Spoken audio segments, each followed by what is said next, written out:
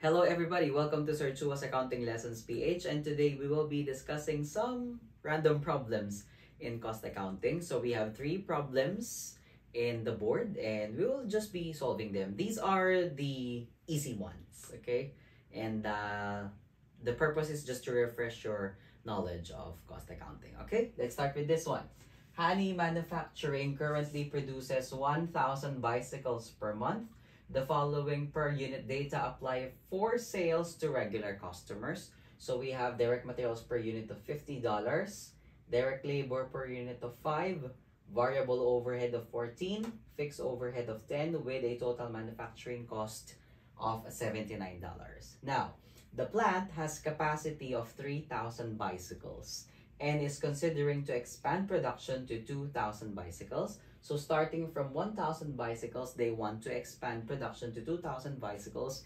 And they can do that because the total plant capacity can hold up to 3,000 bicycles. Now the question is, what is the per unit cost of producing 2,000 bicycles?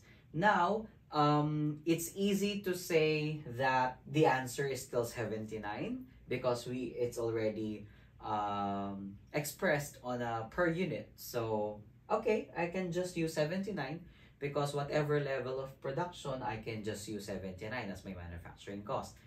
Uh, that's not how you wouldn't do that, okay? So, it's very important for you to look at the variable component and the fixed cost component of your manufacturing cost. Remember that your direct materials, direct labor, and overhead is the variable portion and the fixed is basically the fixed. Okay? And this is where things get a little complicated. Not really complicated, it's just that you have to segregate it in your analysis. Okay, now look here.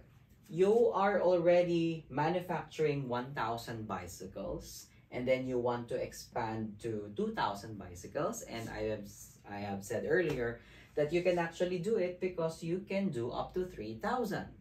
Now, the thing is, remember that the nature of fixed cost is from zero production to, and for this problem, 3,000 bicycles, it doesn't actually change. Your fixed cost doesn't actually change. However, the $10 here actually came from the 1,000 bicycles.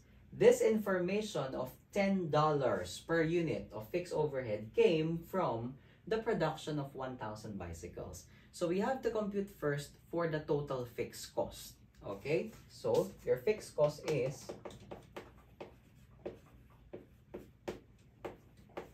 $10 fixed cost per unit multiplied by 1,000 bicycles. That is 1,000 times 10. Oops. Okay. 1,000 times 10. Talaga na-calculate pa ako, no? $10,000. Okay. Now, this is where the trick uh, of the question is. You can just simply answer 79. However, from zero production up to the maximum normal capacity of 3,000, your fixed cost would still be $10,000. Okay? And then let's accustom it first based on your materials, labor, and overhead. Okay? So what you do is like this.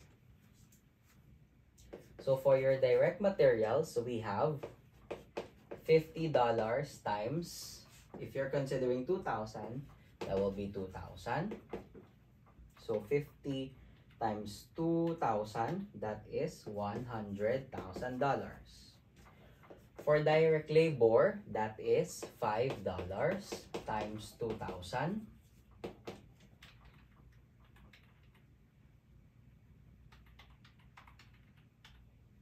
Ten thousand. And then for your variable overhead of $14 times 2,000, that is 28,000. Then we get the total.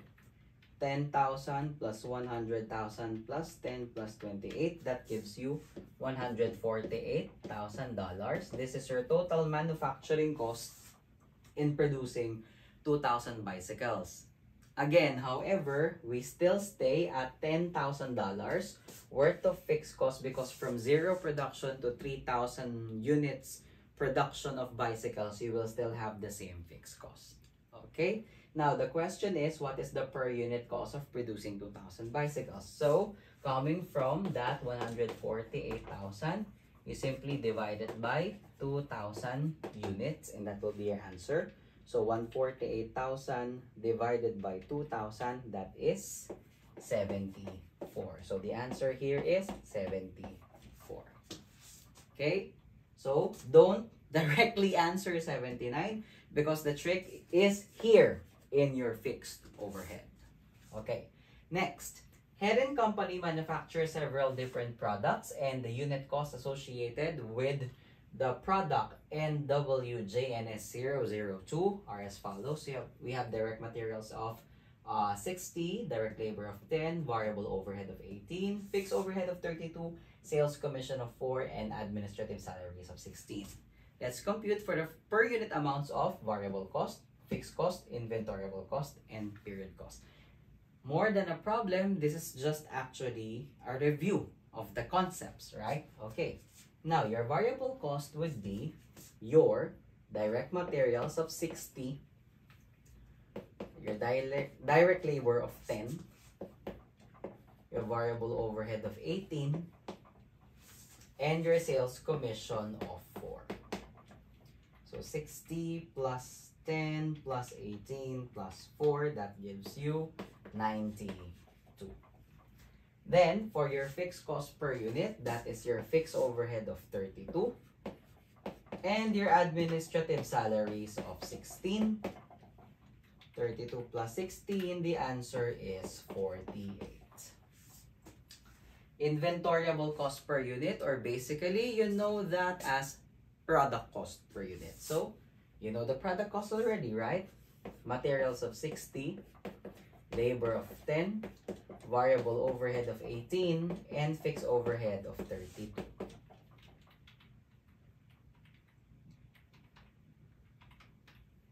And that is 120.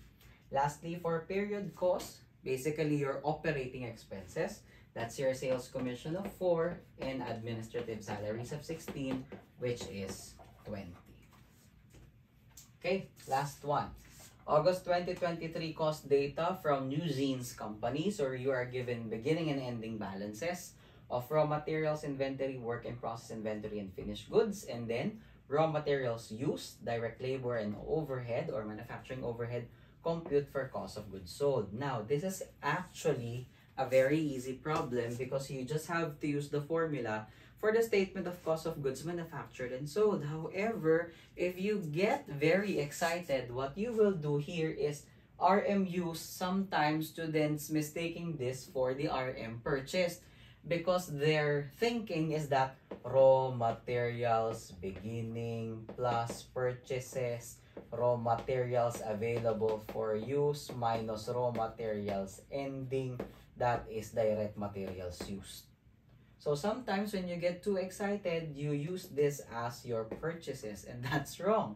And if you want to do the shortcut, this is actually very easy because they already gave you the direct materials used, the direct labor, and the overhead. And this three represents your total manufacturing cost already. So as far as the materials are concerned, you don't need this anymore, right?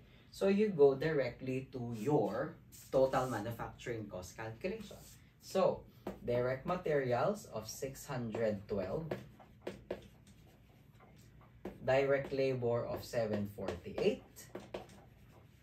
and overhead of 564. That is your total manufacturing cost. So 612 plus 748 plus 564, that is 1,924,000. Since the problem asks you of the ultimate amount, which is cost of goods sold, we can just do it like this. Work in process beginning, that's 372,000. Don't show the total cost of work put into process anymore. You don't need that unless it's being asked in the problem. Since what you are being asked is the ultimate amount, you can just simply do this. Work in process ending directly deduct for 36,000. Okay, let's say for example, the cost of goods manufactured is being asked. Okay, you can do this actually, CGM. So, 1924 plus 372 minus 436, then that's 1,860,000. And do the same for your finished goods. So, finished goods inventory beginning, that is 224,000. And then, finished goods inventory ending, that is 196,000. And that is your cost of goods sold. So, cost of goods sold. 1860 plus 224 minus 196. Then the answer is 1,888,800. Ah, sorry, 1,088,000. okay, that's it. Now, actually here, if um, in the problem, cost of goods manufactured is needed, you can compute it. In case cost of goods available for sale, you stop here first. Total cost of work put in the process, you can stop here. Okay? And in case the purchases are being asked, you can actually work back because you have your direct materials used. You also have your raw materials ending. Then you can get this. You have your beginning and you can work back for the purchases. Okay? Sometimes it is actually in the easy problems where we get mistakes. Okay? Because sometimes students think that since the problem is too easy, they just do it uh, abruptly and uh, look at this since you are being given of raw materials beginning and ending and then most of the problems give you raw materials purchased. However it already gave you your materials labor and overhead so you don't actually need to compute your materials calculation as part of your cost of goods sold. So take um, take caution on those kinds of easy problems but uh, sometimes students get mistakes on those easy problems because they they get too excited of the problem okay? So i hope the insights here will help you in solving problems in cost accounting. Thank you and have a great